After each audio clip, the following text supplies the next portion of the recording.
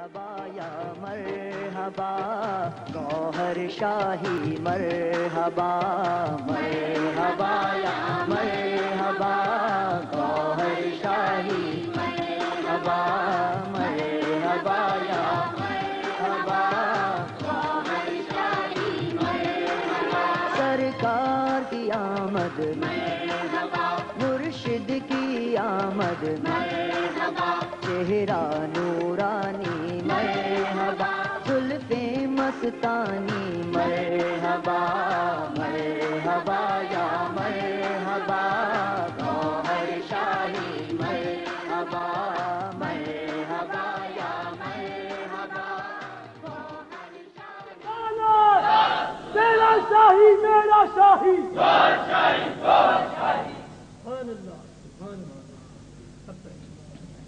اب یہ جس اسم ذات کی بات کری، یہ کسی نبی کو نہیں ملا۔ بنی اسرائیل کے سارے نبی ترستے رہے کہ یہ ہم کو اسم ذات ملے، کسی نبی کو نہیں ملا۔ اگر ملا تو حضور پاک کو ملا۔ حضور پاک کے وسیلے سے اس امت کو ملا۔ تب اس کو فضیلت ہوئی۔ موسیٰ علیہ السلام یا رحمانوں کا ذکر کرتے۔ ہیں صفاتی اسم عیسیٰ علیہ السلام یا قدوسوں کا سلمان علیہ السلام یا وہابوں کا دعود علیہ السلام یا ودودوں کا، باقی نبی اپنے اول العظم مرسل کا کلمہ پڑھتے ایک دن موسیٰ علیہ السلام نے کہا، اے اللہ دیدار دے۔ جواب آیا، تاب نہیں ہے۔ سوچنے لگے، کسی میں تاب ہوگی؟ جواب آیا، ایک میرا حبیب اور اس کی امت۔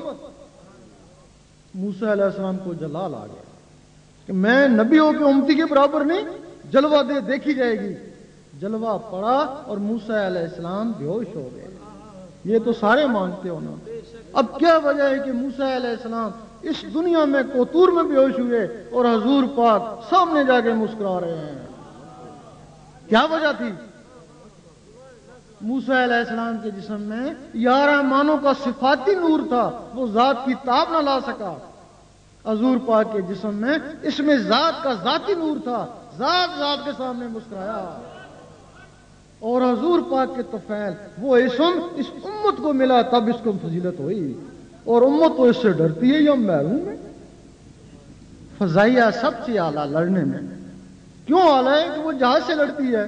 اگر اس سے جہاز چھن جائے تو وہ بندوق والا اس سے بہتر ہے۔ اگر تم سے اس میں ذات چلا گیا، تو تم سے وہ یارہ مانو والے بہتر ہیں۔ ایک حدیث شریف میں کہ قیامت کے دن امتوں کی پہچان نور سے ہوگی۔ یہ یا رحمانوں سے چمک رہے ہیں موسیٰ علیہ السلام کی امت۔ یہ یا ودودوں سے چمک رہے ہیں دعود علیہ السلام کی امت۔ یہ جو اللہ سے چمک رہے ہیں، یہ حضور پاک کی امت ہے۔ یہ تمہارا نشان ہے۔ حضور پاک کے بعد یہ اسم ذات نو صحابہ کرام کو ملا، جنہوں نے سلسلہ چلایا۔ یہ چشتی نقش بندی قادری اسی اسی میں آتے ہیں۔ نو صحابہ کرام سے پھر یہ بارہ اماموں کو ملا جو وقت کے غوث تھے۔ بارہ اماموں سے لے کے پھر یہ غوث پاک کو دے دیا، تب آپ غوث اعظم کہلائے۔ اس وقت اس میں ذات غوث پاک کے پاس ہے۔ اور غوث پاک تک پہنچنے کے لیے کسی کا مرید ہونا پڑتا ہے۔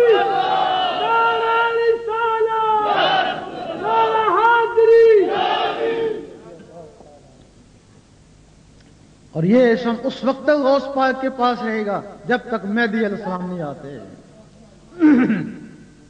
غوث پاک فرماتے ہیں، اے میرے مرید، میرا ہاتھ بہت بڑا ہے۔ فرماتے ہیں کہ میرا مرید ایک دفعہ ہو گیا۔ جیسا بھی ہے، مرتے وقت ایمان سی جائے گا۔ آپ فرماتے ہیں، میرا مرید کون ہوگا؟ میرا مرید وہی ہوگا جو ذاکر ہوگا۔ پھر فرماتے ہیں بحجت الاسرار میں کہ میں ذاکر اسی کو مانتا ہوں جس کا دل اللہ اللہ کرے۔ ورنہ یہ زبانی طور پہ تو توتا بھی اللہ اللہ کر لیتا ہے۔ ادھر حدیث ہی کہ جس کا مرتے وقت زبان پہ کلمہ ہوگا، بغیر حساب کتاب کے جنت میں جائے گا۔ حدیث اور آپ کا کال ٹکرا گیا۔ آپ نے ستر مرتبہ اللہ سے وعدہ لیا ہے کہ میرا مرید ایمان کے بغیر کبھی نہیں جائے لوگ کہتے ہیں ہم کو کلمہ تو آتا ہی ہے۔ تو مرتے وقت پڑھ لیں گے، لیکن یہ نہیں پتا کہ مرنے سے پہلے ہی زبان بند ہو جائے گی۔ ہزاروں میں کسی ایک کا سنتے ہیں کہ مر بھی رہا تھا اور کلمہ بھی پڑھ رہا تھا۔ حضرت امام راضی رحمت اللہ ایک بزرگ ہو گزرے ہیں۔ بہت بڑے عالم تھے۔ انہوں نے اپنی زبان کو کلمے سے تر کیا ہوا تھا۔ سوتے رہتے تھے، زبان کلمہ پڑھتی رہتی تھی۔ لیکن جب وہ باتوں میں لگتے تو زبان ادھر لگ جاتی۔ موت کا وقت آیا۔ شیطان نے سوچا ہے تو یہ جنتی۔ کلمہ پڑھتے جائیں گے، بغیر حساب کتاب کے جائیں گے۔ چلو، اتنا تو کر دوں کہ حساب کتاب ان کا ہو۔ وہ آیا آ کے پوچھنے لگا، بتاؤ تم نے رب کو کیسے مانا؟ کوئی دلیل دو۔ ایک دلیل دی اس نے کہا نہیں کوئی اور ننانوے دلیلیں دی۔ اس کا مقصد یہ تھا کہ دلیلوں میں ان کی جان نکل جائے، کلمہ نہ پڑھ سکیں۔ ادھر نجم کوبرا دیکھ رہے تھے، دور سے پانی کا چھینٹا مارا اور کہا ہے نادان، تو کہہ دے کہ میں نے بغیر دلیل کے رب کو مانا اور کلمہ پر اور تین دفعہ تکرار کری، روح پرواز کر گئی۔ اس شیطان نے ایسے لوگوں کو بھی نہیں چھوڑا پریشان کرنے کے لیے۔ عام آدمی کیا کہتا ہے کہ میں کلمہ پڑھ لوں گا؟ لیکن وہ لوگ جن کے دل اللہ اللہ کر رہے ہیں، وہ مر بھی رہے تھے۔ شیطان کا تصرف اس زبان پر ہے کہ زبان عالم ناسوت میں ہے۔ دل کا تعلق عالم ناسوت سے نہیں ہے، دل کا تعلق عالم ملکوت سے ہے۔ کیونکہ شیطان کا تصرف زبان پہ ہے، دل پہ۔ یہ تو عالم ملکوت سے اس کا ٹکراؤ ہو گیا اور وہ مر بھی رہے تھے اور اللہ اللہ کر بھی رہے تھے۔ اتہ کہ مر بھی گئے، مرنے کے بعد بھی ڈیڑھ سیکنڈ تک اللہ اللہ کرتے رہے۔ حدیث شریف میں زبان کا ہے، وہ بھی گوشت کا لوتھڑا، یہ بھی گوشت کا لوتھڑا۔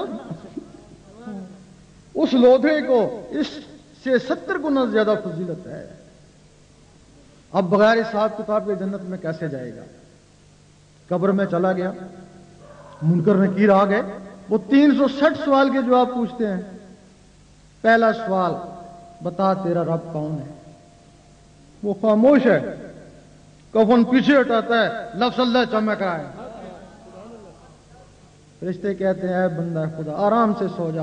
ہمیں تو شرم آتا ہے تو سے کیا پوچھیں؟ چپ کر کے واپس چلے جاتے ہیں۔ پھر ایک اور فرشتہ آتا ہے، جس کا نام امان ہے۔ وہ روح کو نکالتا ہے، اس کا کام ہے روح کو برزخ میں پہنچانا، لکھے کے مطابق۔ لیکن وہاں تو کچھ لکھا ہوا نہیں ہے۔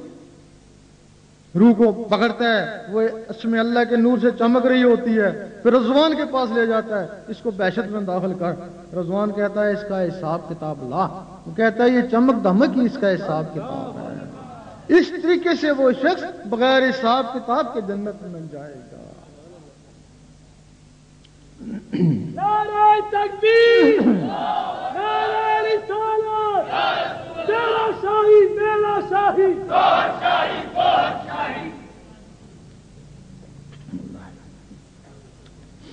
اب بہت سے لوگوں کی خواہش ہوتی ہے، ہم ہمیں کوئی ایسا وظیفہ یا عمل مل جائے جس سے ہمارے کاروبار چمک اٹھے، ہمارا شہرت ہو جائے، رزق میں ترقی ہو جائے، اور وہ کسی عمل کی تلاش میں آتے ہیں۔ کیونکہ ان وظیفوں کے لیے کسی عمل کی اجازت ضروری ہے۔ خاص صورت جن کا وظیفہ ہو یا صورت مزمل کا ہو، صورت ملک کا ہو، جن لوگوں نے وہ وظیفے حاصل کر لیے، کسی عمل سے واقعی وہ قرآن مجید کی برکت سے خوشحال ہو۔ اب جب ان صورتوں کے لیے عمل کی اجازت ضروری ہے، تو اس میں ذات، جس میں ساری صورتیں بند ہیں، کیا اس کے لیے اجازت ضروری نہیں ہوگی؟ اس صورت کے لیے عمل کی اجازت چاہیے اور اس میں ذات کے لیے کسی کامل کی اجازت چاہیے۔ عمل بھی ایسا جب پھنسے، آواز دے فوراً پہنچے، اور کامل بھی ایسا پھنسے، آواز دے فوراً پہنچے۔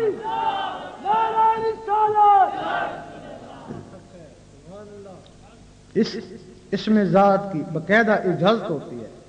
باقی صفاتی اسمات کتاب سے لے کر بھی فیض حاصل کر سکتے ہیں۔ لیکن جن لوگوں نے اس میں ذات کو کتاب سے لے کر فیض حاصل کرنے کی کوشش کری، وہی پاگل ہوئے، وہی برباد ہوئے۔ وہ اس کی تاب بھی نہ برداشت کر سکے۔ تب لوگ اس سے محروم ہیں، کہتے ہیں یہ سخت جلالی ہے، اس کے نزدیک مت جاؤ۔ یہی کہتے ہیں نا، لیکن اس کے بغیر گزارا ہی نہیں ہے، یہی تمہاری پہچان ہے۔ اور تم کہتے ہو کہ اس کے نزدیک ہی مت جاؤ، یہ پاگل کر دیتے اس کی اجازت ہے۔ اجازت کیا ہے؟ آپ یہاں تہجد پڑھتے رہیں۔ کام بڑا اچھا کریں۔ لیکن شیطان ایک کونے پہ کھڑا ہنستا رہتا ہے۔ کیوں ہنستا ہے؟ کہ تیرا دل تو میرے ہاتھ میں ہے۔ جب جی چاہوں گا موڑ دوں گا۔ اور تمہیں شکایت ہوئی، میں بڑا تہجد گزار تھا۔ مجھے کیا ہو گیا؟ میں فرض نماز نہیں پڑھ سکتا۔ وہ شیطان نے دل موڑ دیا نا۔ باز جی، مستعمی رحمت اللہ جنگل میں گئے۔ جب باقی عبادت کرتے، شیطان دیکھتا رہتا، لیکن جب اس میں اللہ کی ضربیں لگاتے، اللہ کو بسانی کوشش کرتے، شیطان قریب آ کے ان کو ستاتا۔ تو صاحب کشف تھے، ایک دن ان کو بڑا غصہ آیا، ڈنڈا لے کے اس کے پیچھے بھاگے، آج اس کو ماروں گا۔ آواز آئی ہے باج عزیز یہ ڈنڈوں سے نہیں مرتا، یہ اللہ کے نور سے جلتا ہے۔ اتنا ذکر کر، اتنا ذکر کر کہ تو نور الل نور ہو جائے۔ جب باج بستان میں رحمت اللہ نور نور ہو گئے تو شہر بستان سے جادوگر بھی چلے گئے۔ اب ہمارا عمل یہاں اثر نہیں کرتا۔ جب کوئی شخص اس میں اللہ کو اپنے دل میں بسانے کی کوشش کرتا ہے، شیطان کا قبضہ ہوتا ہے اس دل کے اوپر، وہ سوچتا ہے اگر اس میں اللہ اس کے دل میں چلا گیا، یہ شخص ساری عمر کے لیے میرے ہاتھوں سے گیا۔ شیطان کے پاس لشکر ہیں، فوج کے بیما اسلح جنات کے لشکر ہیں، قرآن مجید گوائے حکم دیتا ہے، جاؤ، اس کو برباد کرو، تباہ کرو، کچھ بھی کرو، یہ لفظ اللہ اس کے اندر نہ جائے۔ اب تمہارے پاس تو ایک دن بھی نہیں ہے جو ان کا مقابلہ کرو۔ وہ آئیں گے، تمہیں ستائیں گے۔ بعض نہیں آئے، بیمار کریں گے۔ بعض نہیں آئے، پاگل کر کے چلے جائیں گے۔ جب ہوش آئے گا تو یہی کہو گے، خبردار، اللہ مت کرنا، اس سے لوگ پاگل ہو جاتے ہیں۔ لیکن جہاں سے اس کی اجازت ہوتی ہے اللہ تعالیٰ ان کو بھی ایک رحمانی فوج دیتا ہے۔ وہ شیطانی فوج تم پہ ٹوٹ پڑی اور وہ رحمانی فوج شیطانوں پہ ٹوٹ پڑی۔ اور وہ رحمانی فوج اس وقت تک تمہارا ساتھ دے گی جب تک تمہارے اندر رحمان جاگ نہیں اٹھتا۔ پھر تم بندہ نہیں رہے، بندہ نواز بن گئے۔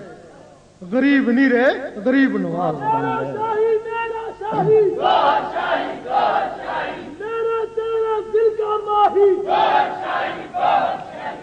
یہ اس کی اجازت ہے۔ اس کا پھر طریقہ بھی ہوتا ہے۔ ہو سکتا ہے کچھ صاحب دل ہو، کسی کے دل میں یہ بات چلی جائے۔ ہمارا مقصد حل ہو جائے۔ روزانہ چھیاسٹھ مرتبہ سفید کاغذ پر کالی پینسل سے لفظ اللہ لکھیں۔ فجر کی نماز کے بعد لکھیں تو بہت اچھا وقت ہے، ورنہ جب بھی آپ کو فرصت ہو، با وضو چھیاسٹھ مرتبہ لفظ اللہ لکھیں، پیار سے لکھیں۔ کہیں وہ بھی دیکھ رہا ہو، دیکھے تو پیار سے دیکھیں تھوڑے دن آپ لکھیں گے۔ ایک دن ایسا آئے گا کہ جو آپ کاغذ پہ لکھتے تھے، وہ آپ کی آنکھوں پہ تیرنا شروع ہو جائے گا۔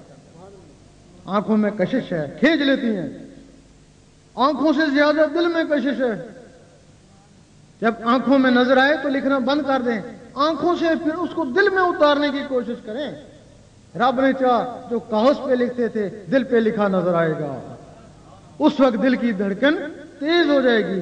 اس دھڑکن کے ساتھ پھر اللہ ملائیں۔